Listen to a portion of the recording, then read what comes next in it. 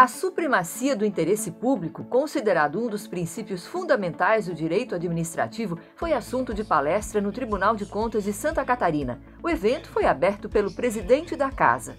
A supremacia do interesse público, até alguns anos atrás, principalmente antes da Carta Maior da nossa Constituição Cidadã, da Constituição de 88, o interesse público era visto como exclusivamente o interesse do Estado brasileiro, aí sim divorciado dos interesses do nosso cidadão. Depois, com a, a garantia dos direitos individuais, sociais, das mudanças que ocorreram através da nossa Constituição, nós passamos a ser um Estado que respeita esses direitos e garantias fundamentais e individuais. O palestrante foi o especialista em direito público, professor e advogado Márcio Camarozano.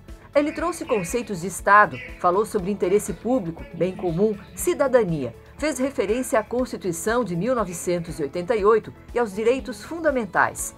O princípio do interesse público sobre o privado é aceito por algumas correntes e rejeitado por outras. Para o professor, ele é importante para aqueles casos em que a lei é omissa a interpretação que eu faço desse princípio permite contrapô-lo a essas uh, teorias que negam pura e simplesmente, de forma radical, a existência desse princípio. Porque a lei de introdução às normas do direito brasileiro diz que, quando a lei for omissa, a decisão há de considerar analogia os usos e costumes e os princípios gerais de direito.